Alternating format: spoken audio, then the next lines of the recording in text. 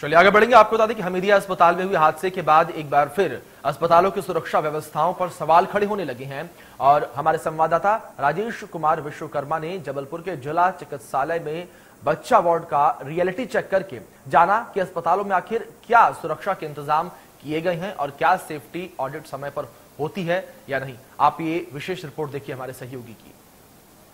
Media में दुखद घटना सामने आई है और अस्पताल में आग लगने से कई मासूमों की जान गई है? जबलपुर के जिला चिकित्सालय में इस वक्त हम मौजूद हैं और रियलिटी टेस्ट करेंगे कि बच्चा वार्ड में आखिर क्या व्यवस्थाएँ किस तरीके की है और किस तरीके से यहाँ पर इन सारे सेफ्टी मेजर्स का ध्यान जो है वो रखा जाता है। अगर बात की जाए तो सारे इक्विपमेंट यहाँ पर लगे हुए हैं। डॉक्टर साहब, हमारे साथ मौजूद सर, किस तरीके के व्यवस्थाएँ की जाती हैं, आपको मालूम हो कि कल एक बड़ी दुर्घटना हुई है?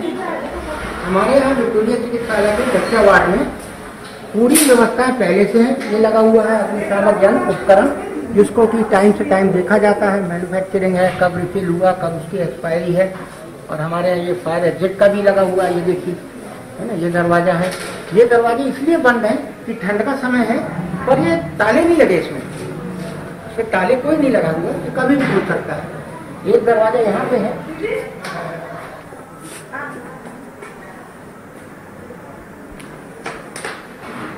ये दरवाज़ा इसलिए बंद है कि आइसोलेशन रूम है। यहाँ डिप्थीरिया और टेटनस के मरीज़ भर्ती रहते हैं इसलिए हमने उसको खोलना उचित नहीं समझा। आ, समय समय पर सेफ्टी ऑडिट जो है वो हाँ, होता रहता है। होता रहता है। होता रहता है। आ, बिल्कुल ये थे हमारे साथ डॉक्टर साहब जो प्रभारी हैं जिनका कहना है कि समय समय पर जो सेफ्टी ऑडिट डॉक्टर अरोड़ा थे अरोड़ा थे तो ये बता रहे थे कि समय समय पर जो ऑडिट है सेफ्टी ऑडिट वो यहाँ पर होता रहता है और हमारी जो रियलिटी टेस्ट है रियलिटी चेक है उसमें कहीं ना कहीं जो अगर बात की जाए तो 10 में से 10 अंक इस बच्चा वार्ड को मिलते हैं क्योंकि सारी व्यवस्थाएँ यहाँ पर जो है वो की हुई कैमरामैन वीरेंद्र के साथ राजेश कुमार विश्वकर्मा इंडिया न्यूज़ जबलपुर।